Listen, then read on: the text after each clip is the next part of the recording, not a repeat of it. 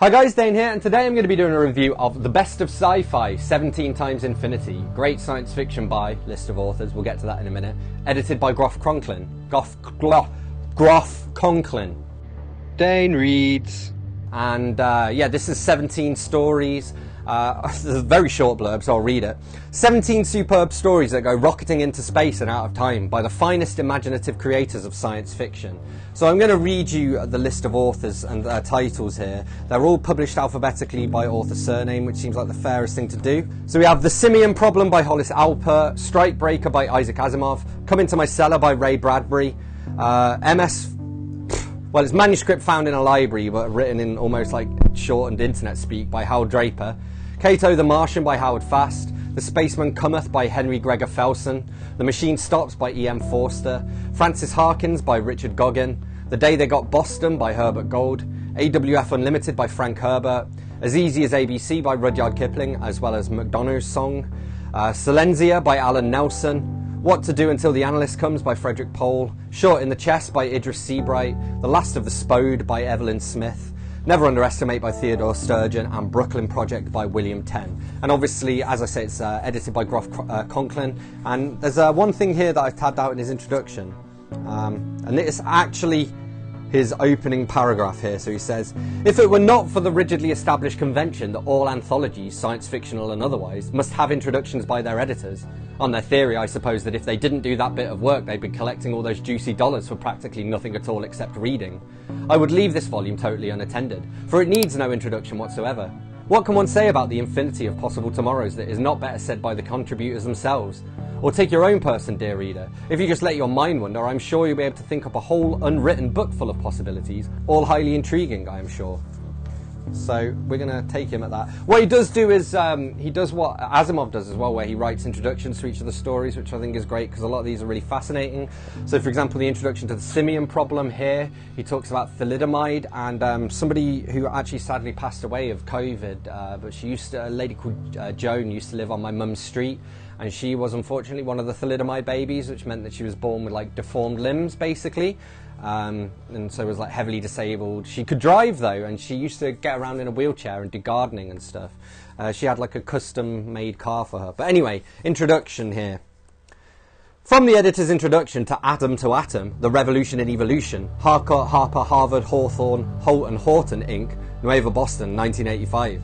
In preparing this collection of essential papers in the history of human mutation, from, as Norbert Huxley has rightly put it, monkey to monkey, it occurred to the editor that it might be worthwhile recalling to those with faulty memories or insufficient years the horrifying, at the time, thalidomide plague, a non-genetic but congenital catastrophe of the early 1960s.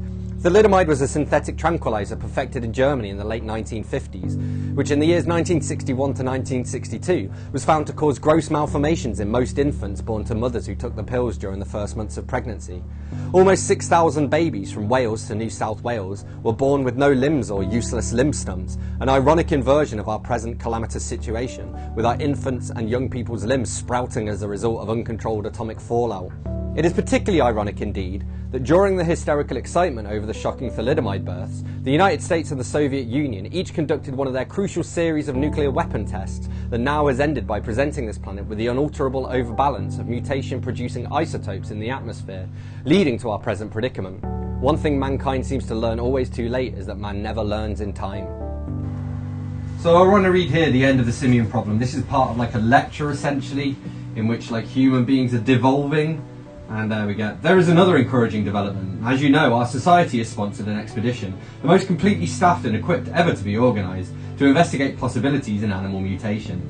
The areas south of the Sahara, in the jungle regions closest to the site of the French thermonuclear explosions of 1967, the so-called Dirty Year, have been under close surveillance for the past two years. Colonies of apes, chimpanzees, gorillas and gibbons have been formed and ceaselessly observed. I can make public a hitherto secret staff report recent offspring in one of our gorilla colonies have shown the following characteristics. Reduction of hirsute areas, less flexible spines, higher brows, a slight enlargement of cranial capacity and... Gentlemen! Gentlemen! Editor's note, Dr. Crindle was forced to break off his remarks at this moment due to an interruption and hubbub caused by reporters leaving their seats and rushing to the doors. Order was not restored, and the convocation was therefore adjourned for the day. So here from Come Into My Cellar by Ray Bradbury, and uh, they get in the post, the Sylvan Glade Jumbo Giant Guaranteed Growth, raise them in your cellar for big profit mushrooms. Uh, that they didn't ask for, but they planted them anyway. And it reminds me of recently, there's this been this scandal because like these Chinese scammers basically have been sending seeds to people in America, and people are scared to plant them in case something weird happens. Obviously, nothing weird happens. And we have uh, MS found in a library by Hal Draper. And here we, uh, this kind of dates it to like storage capacities. From Scientific American, July 1962, an advertisement for National Cash Register Company. This new NCR development makes it possible to store the entire contents of a 400 page book on one square inch. Or put another way, documents that now require 250,000 square feet of filing space can be stored in six and a quarter square feet using a photochromic material consisting of molecules of light sensitive dyes. Very cool, although obviously I think we can do better than that now. And then in, in, that same story, we get the position was well put indeed in a famous speech by Jezebel to the graduates of the Central Saturnian University, when he said that it was a source of great pride to him that although hardly anybody knew anything any longer, everybody now knew how to find out everything. And actually, the way our brains work has been documented, it's been changing because we no longer learn things by rote because we don't need to. We can just look them up. We don't need to know 1066 Battle of Hastings. We can just say, hey Google, when was the Battle of Hastings? Okay, Cato the Martian by Howard Fast. And this is. Uh, well, I'll read you the intro. The absolute final word on any foreign policy that is based on self righteousness is found in this scarifying tale. No man, no nation, no planet is ever right enough to begin a just war. Indeed, the moral of this story is that there is no such thing as a just war. And then basically, the, the Martians don't even understand the word righteous or righteousness, they don't understand the concept. And uh, the Martian, Mr. Kayeg, goes, Well, que sera, sera, Mr. Kayeg sighed. What will be, will be. French, language spoken by only a handful of people on the European continent, but very elegant. And funnily enough, I mean, I remember sera um, in French because of that song, and it helped me, helps me to remember uh, like the future tense of be. Être is uh, present tense. We get le patriotisme est le dernier refuge d'un gredin, Mr. Kayeg observed caustically. French, a piety language. English, as a matter of fact, Mr. Erdy corrected him. Patriotism is the last refuge of a scoundrel. Samuel Johnson, I believe. I don't know, I like the French version more. And so Mr. Erdig says, I am one of those individuals who, even when they cannot hope to win an argument, get some small satisfaction out of placing their thoughts upon the record. That I do not agree with Cato, you know. I have said so emphatically, and on many occasions, but this is the conclusion of a long debate, not the beginning of one. So here we have uh, Richard Goggin with Francis Harkins. And this sounds about right. This happens to me when the doorbell goes. It says, The doorbell rang. I nearly jumped out of my skin. It's bad enough in the daytime, but at night it's just awful. So we've got The Day They Got Boston by Herbert Gold. The main thing to share here is probably the intro essay, uh, well, introductory notes.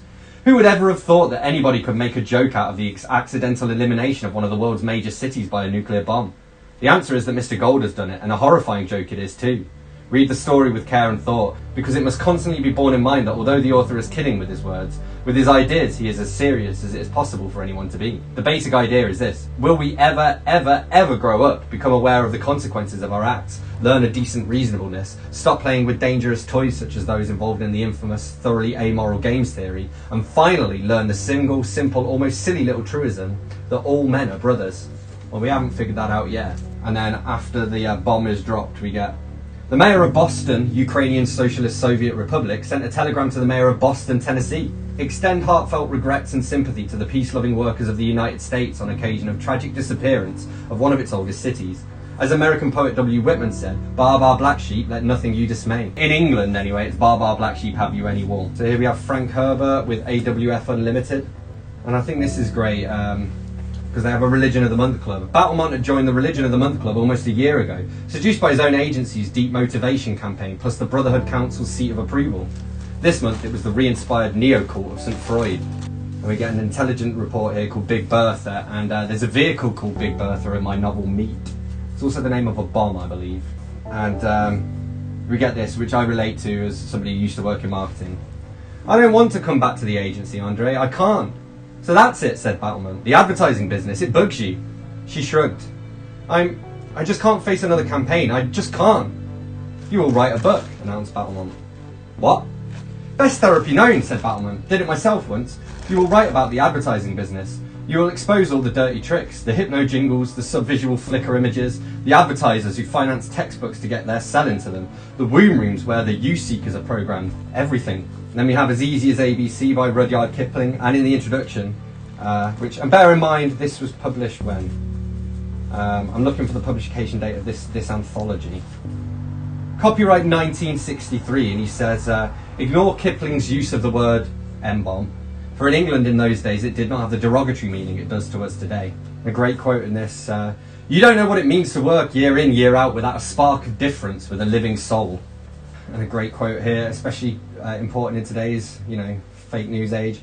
But it's not true, Arnott insisted. What can you do with people who don't tell facts? They're mad. So here I want to read this out at the end of Rudyard Kipling's story. We have a McDonough song, and someone's written in brackets Mac who, uh, and they've crossed out the words holy and replaced them with Marxist.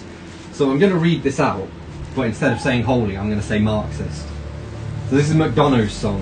Whether the state can loose and bind in heaven as well as on earth, if it be wiser to kill mankind before or after the birth, these are matters of high concern where state-kept schoolmen are.